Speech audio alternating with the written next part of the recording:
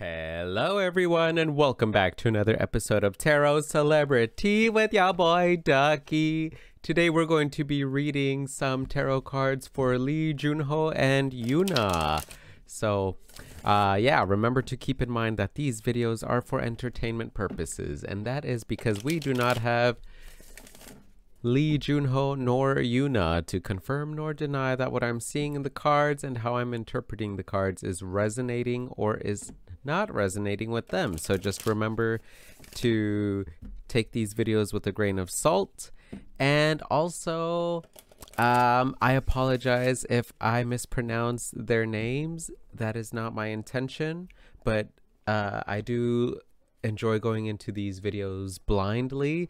Um, so, yeah, let's get started on Lee Junho and YoonA's tarot card reading. So let's start with Lee Junho's views, how he perceives YoonA. What are his thoughts on YoonA? We got the King of Pentacles in reverse. Hmm. Interesting. Interesting start already. What are Lee Junho's thoughts on YoonA? The Eight of Swords. I'm just thinking like wild child. That's the these that's like what I'm immediately already thinking of. Like he just thinks that YoonA is kind of just like wild, a wild child. The moon in reverse. Oh, all right. what are YoonA's thoughts on Lee Junho? We got the messenger, the Hierophant in reverse.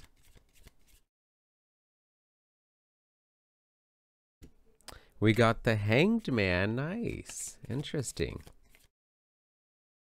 So I'm getting some rebelliousness from the both of them. And we got the Three of Pentacles in reverse. Wow. Um, uh, you know what? Let me do, let me get an emotional healing card for both of these. Lee Junho's thoughts on YoonA. Hopelessness. Okay.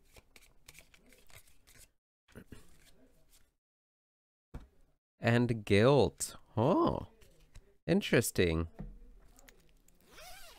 So, both of these cards came up right. So there's a pause, there's a negative and a positive meaning for each card, but normally when these cards come up upright, I read the positive parts of them. So let's start with these. Um, so Lee Junho's thoughts on YoonA. We got hopelessness and positive. So Hopelessness can bring about a change of priorities. I concentrate on the moment, abandoning thoughts of future triumph. I regroup my inner reserves. That second sentence, concentrating in the moment, is definitely resonating with how I'm seeing um, with the, the way these cards came out. So with the King of Pentacles in reverse, you know, normally the King of Pentacles right side up always has a plan, always goes according to schedule. Everything is concrete. Um, everything is analyzed, you know. But when this card comes in reverse, as it did, I'm feeling that like Lee Junho thinks that YoonA just never really goes into a, uh, doing things with a plan. She kind of just lives in the moment. She's very free, is what I'm seeing here with the Eight of Swords coming up in reverse. Normally, the Eight of Swords is all about restricting yourself. You can even see it here. This angel is like feeling restricted. But when this card comes in reverse, to me, all of these like swords are like fall like fall out from the ground and there's that freedom. So there's a sense of freedom here that Lee Junho sees in YoonA. She's just free, doesn't really plan too much. Uh, she's always kind of like just focusing more on being in the moment, embracing the moment. Um, but we also got the moon card here in reverse. So the moon card can talk about like secrets and stuff like that. So it seems that maybe in the beginning, Lee Junho didn't really know if he could trust YoonA or if she even liked him, you know, maybe like just as a friend or as like a colleague. There was some sense of like there's she's just kind of very secretive. She's very free, um, is what I'm seeing. But like that freeing nature can also be a little bit deceptive because people don't really know like, oh, does she like me?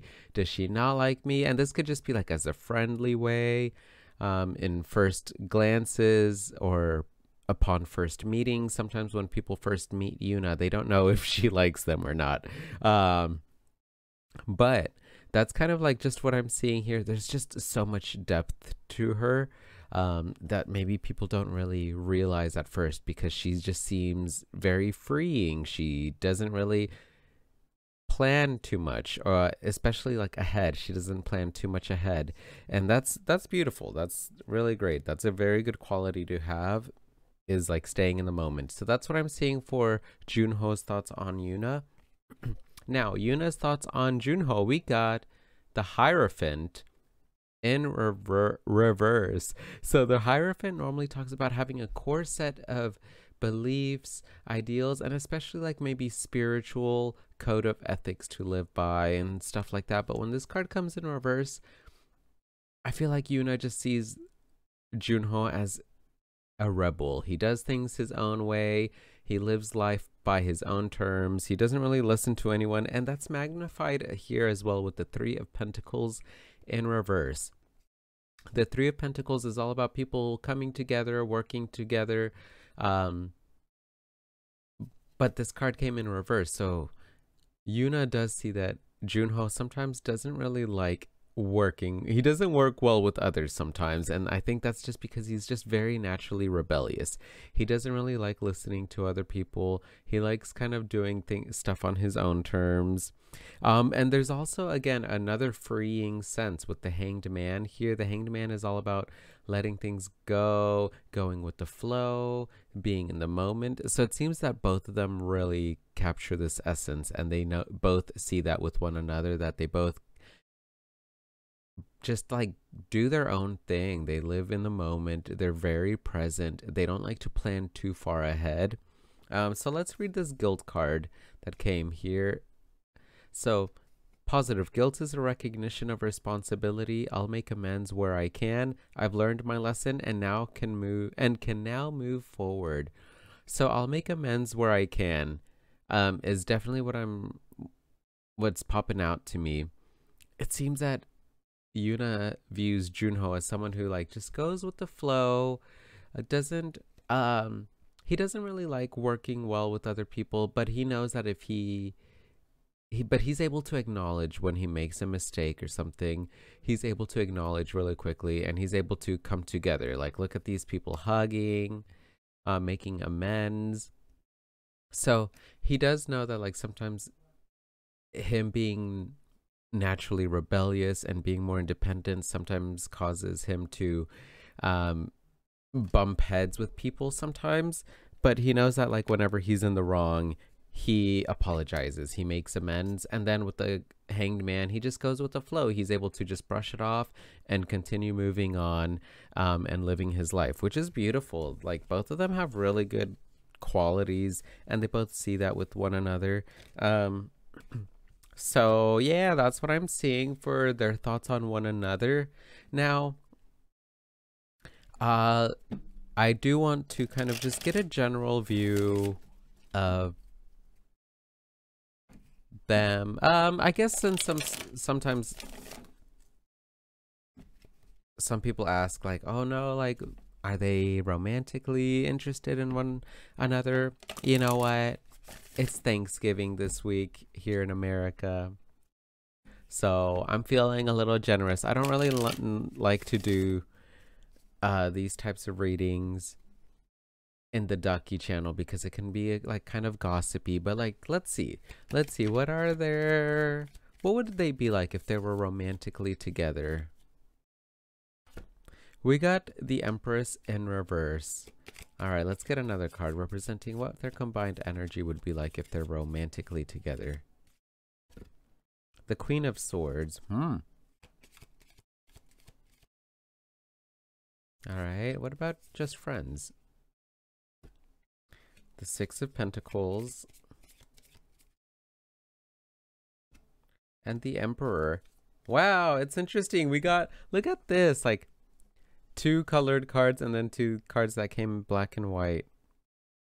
Now, so I'm seeing here with the Empress coming up in reverse and the Queen of Swords representing their combined energy if they were romantically involved. I think they would definitely be very close to one another, very loving, but it's almost like a smothering type of love. You know, the Empress is very nurturing, very caring, very loving, but sometimes when this card comes in reverse, it could be a little bit too much, too much love. Um, but the positive here would be that the in the Queen of Swords, they would they communicate very well and they think alike, and that's resonating with the beginning uh, set of cards that showed up that they're both kind of rebellious and they both see that and acknowledge that in one another. And i feel like they would really communicate well. They because they both think alike. Um, they they have the same communication styles. But maybe sometimes like they would be a little bit too maybe lovey-dovey or too they would care a little bit too much for one another to where it becomes a little bit smothering. Um, so if there were to be just friends, I got the Six of Pentacles in reverse with the Emperor. I feel like, hmm, interesting. The Six of Pentacles talks about like there's an overly generous energy here. Um, that maybe one person will be overly generous to the other. Um, one person would be a little bit more giving. Maybe the other person is is receiving more than they're giving. Um, so maybe there would be an imbalance of give and take um, if they were both friends or to just remain as friends. But the interesting thing is we got the Emperor card. The Emperor card is all about wanting to like be in control or wanting wanting a label you know they're wanting that sturdy foundation they're wanting that throne so it seems like if they were to just be friends there would be someone here that's like wanting more um, that would be like hoping for more and maybe that's why there's like a little bit more of giving energy. And the emperor is ruled by aries and this is a, a more masculine card so i would assume maybe it would be like lee junho would probably be wanting more. He would be like all right like i want to be more than friends. Um and then like it's interesting we got the emperor and then we got the empress here. Um so i feel like in a relationship maybe YoonA would be very nurturing to where maybe it, it would be a little bit smothering it would be a little bit too much for lee junho. But like if they were to be just friends lee junho wants more than friendship. But maybe once he gets that friendship, more than that friendship, once they get in that relationship, maybe he'd be like, oh my gosh, this is too much love. Like YoonA is giving me too much love. Um, so, but that's kind of what I'm seeing. But either way, like there's some good and there's some bad, just like with anything, you know, you got to take the good with the bad in any situation. So, yeah. Um, all right. So let's finish off with some advice for both of them. Let's get some advice representing Junho and some advice for YoonA.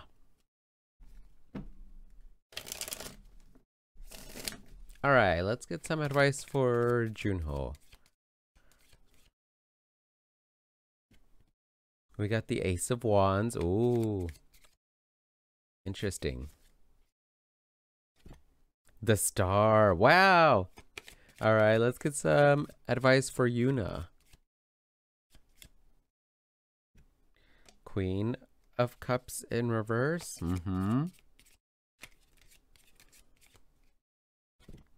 And the Page of Wands in reverse. Interesting. Stomach came out for Junho. And grief. But this came out in positive, uh, right side up for YoonA. So this came out negative or like upside down for Lee Junho, so stomach card. Abdomen, procreation, sexuality, creativity, spontaneity, out of balance. We are daunted by difficult and of difficulty and avoid challenge. We have low self-esteem and expect disappointment. Oh, interesting. So I feel like the advice for Lee Jun Junho is that like right now maybe he has low self esteem, or is expecting disappointing results. And it's interesting because that we got the star card here, which is all about being positive. Like the advice for Lee Junho is to really be positive about his future, about his goals, about his aspirations, what he wants to accomplish. And also we got the Ace of Wands here. And like I'm just thinking in my head, like turn up the heat. Like the advice I'm hearing for Lee Junho is he needs to just like turn up the heat, turn up the passion. Um, if he is attracted to someone, he needs to go for it. Like the Ace of Wands in regular tarot is a person holding onto a big rod. Um, and that cannot be like considered as like a very sexual card sexual like sexually charged.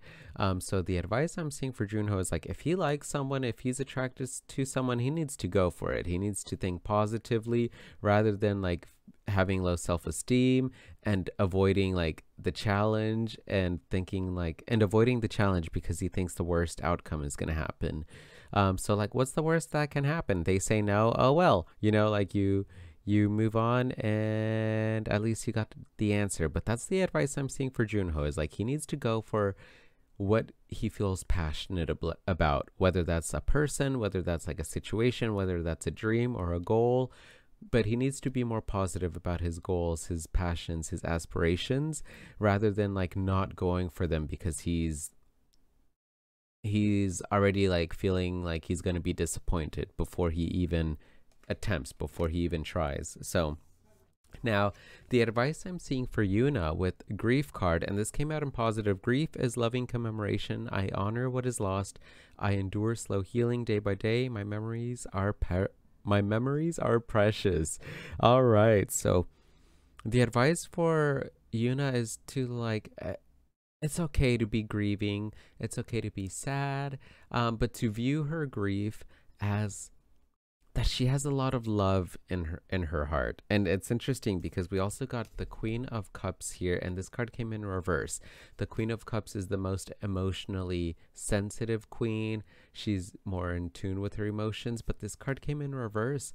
So i feel like sometimes YoonA is afraid to tap into her emotions. She's afraid to tap into her feelings because she's afraid that someone's going to take advantage of her feelings. And I think she needs to view that her emotions, she shouldn't grieve her emotions. She shouldn't be sad about the emotions that she have. She should be happy because that means she's able to feel a lot. Um, she's able to nurture and help people a lot. And that Empress card came in reverse. So, like, she has a lot of love to give. And sometimes, yeah, maybe it could be a little bit too much for people, but she shouldn't be sad about that. Um, you know, she can easily, it's, it's, she can easily back off. It's, it's better to like back off and ease back from having too many feelings rather than like trying to learn how to start feeling. Um, so that's what I'm seeing for her. Also, the Page of Wands in reverse is talking about like she needs to be careful. Like maybe sometimes if people are like, wow, like you're it's it's a little bit too much for me right now. She takes it a little bit the wrong way and then she kind of like backs off and maybe she could take it um in a very she there's like an immaturity that sometimes like if someone says something to her like hey like calm down she gets a little bit immature about it and then she's like now you calm down you know? Um um or like if someone's like all right you're doing too much right now she's like no you're doing too much. uh, I'm cracking myself up. So the advice for her that I'm seeing is like if someone tells her to like ease back, like ease off on the fire or to like slow down, there's no need to be sad about that she, and to get in her feelings about it. Like it's good that they're comfortable enough to communicate with her and tell her that like she just needs to like chill back, relax a little bit more. Um but yeah, that's kind of what I'm seeing. She needs to just own her feelings more. Um, she has a lot of love to give, and there's nothing wrong with having a lot of love to give. Um, and it's easy for all that love that she has. She can easily just like to tone it down a bit, or kind of like spread it out in ways that that way it's not so like fast and like maybe a lot of love at once. Um, so yeah, that's what I'm seeing for Lee Junho and YoonA's reading. Let me know what you thought about it in the comments. Give me a thumbs up if you liked it, or a thumbs down if you did not like it. Also, um, I know some of y'all love giving me suggestions, and I love that you all feel very comfortable and uh, about that. But right now, I do my to do list is quite long and I am a little bit overwhelmed with how many videos I have to do or like how long my list is. So I'm probably not going to be writing down a lot of videos on my to-do list right now. Um, so I apologize, but hopefully maybe in the beginning of next year I'll start doing that again. Um, so anyway, Remember to take care of yourselves mentally, physically, spiritually, emotionally, and sexually. Love and respect yourselves and others. And as always, stay hydrated. I'll see y'all on the next video. Okay, thanks. Bye.